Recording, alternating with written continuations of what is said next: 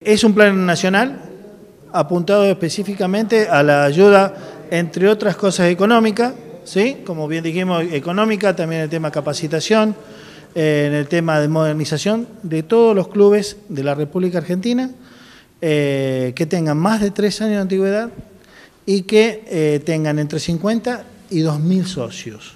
¿sí? En ese número tenemos la gran mayoría de los clubes de la Liga Regional.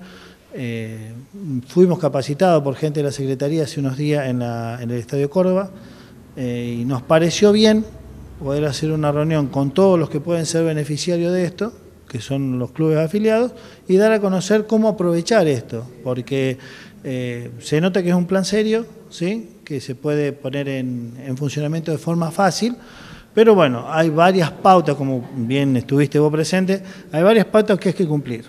¿sí? Eh, entonces, la liga mm, quiere darle una mano en ese sentido. O sea, facilitar lo que es la parte eh, requisitos de papeles, eh, todo lo que es la parte jurídica, la parte de contabilidad de los clubes y demás, por medio de la federación. O sea, todo lo que explayamos, que la idea es poner a los clubes en condiciones de poder presentar un proyecto y recibir la plata para llevarlo a cabo. Fundamental va a ser para los clubes este, el hecho de estar al día en cuanto sobre todo a balances, bueno, personalidad jurídica sería eso justamente, si no, no se puede ingresar de ninguna manera. Eh, no, como bien dijo uno de los, de los asistentes, uno de los muchachos asistentes, también estaba eh, hace un tiempo, eh, nos vemos en el club en la provincia de Córdoba, que también habíamos sido llamados para, para informarnos. Y bueno, el, año pasado lo primero, que lo primero que pidieron es estar en el tema jurídico, en el tema de asamblea, en el tema de balance al día, porque de lo contrario se corta todo, no hay forma de llevarlo adelante. Bueno, creo que es importante eh, sobre todo porque la gente de la, liga va a ser un poco intermediario para aquellos clubes que tengan algunos problemas eh, en la parte jurídica y de esa forma se puede llegar a agilizar bastante los trámites, que son eh, siempre los trámites son un poco problemáticos para los clubes. ¿no?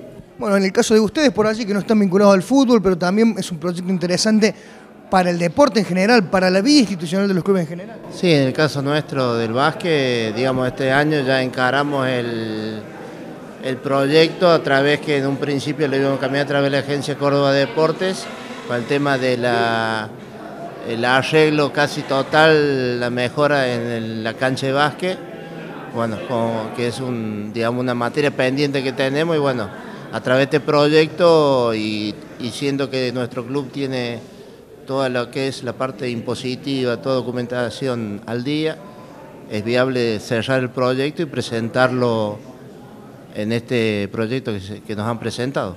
En cuanto al Sportivo 24, imagino la intención de participar también imagino que habrá que poner cosas al día para, poder ingresar. Sí, exactamente. Siempre por ahí nosotros los clubes que por ahí tenemos menos recursos, eh, son, sabemos muy bien que tenemos algunos, algunos problemas con algunos balances que tenemos atraso. Bueno, será cuestión de ver la posibilidad de poner, ponerse al día para poder aprovechar este subsidio para toda la institución, o sea, para todas las disciplinas, no solamente por ahí para la, para la parte de fútbol, sino para, para todo el club en general eso es importante también y, que se sumen también las actividades, porque esto es para todo el club en general. Exactamente, por eso yo creo que de ahí más era cuestión no solo de como comisión directiva citar a toda la disciplina para que entre todos podamos lograr ver cómo completar todos los requisitos necesarios para poder lograr el subsidio para todo el club.